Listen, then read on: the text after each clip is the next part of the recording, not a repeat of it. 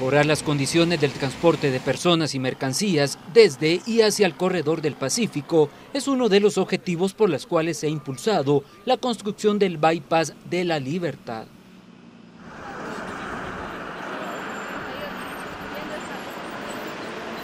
La obra es parte del proyecto de integración y desarrollo de Mesoamérica.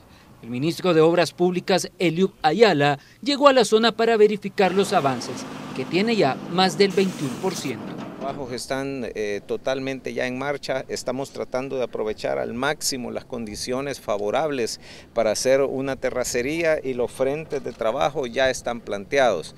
Eh, como es eh, natural para este tipo de obra, estamos haciendo terracerías masivas, haciendo cortes precisamente ya en la roca, cortes importantes, pero queremos informar que en su conjunto todo el bypass eh, que tiene una longitud, tendrá una longitud de 6.5 kilómetros y nos permitirá hacer un paso. Paralelo a esta obra también se llevó a cabo la ampliación de dos a cuatro carriles en la carretera del puerto de la Libertad.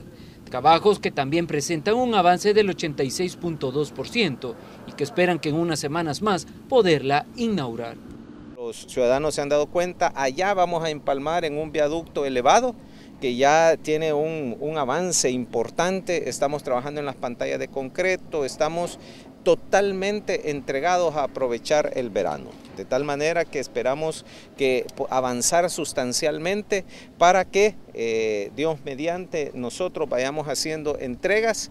De la ampliación será eh, a, la, a, la, finalización de este, de este verano.